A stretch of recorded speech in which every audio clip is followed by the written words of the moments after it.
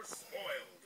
James has bumped the buffers, and the bottles in your streetcar have lost their corks. The lemonade is all gone. Suddenly, the very last cork popped and knocked Sir Topham Hatt's hat right off his head. Sir Topham Hatt was surprised. Thomas gasped. Cinders and ashes. The funny popping sound that made me laugh This is all my fault, sir. Thomas felt terrible. Now the children couldn't have their picnic. I can put this right, sir. Thomas pumped his pistons and chuffed quickly away.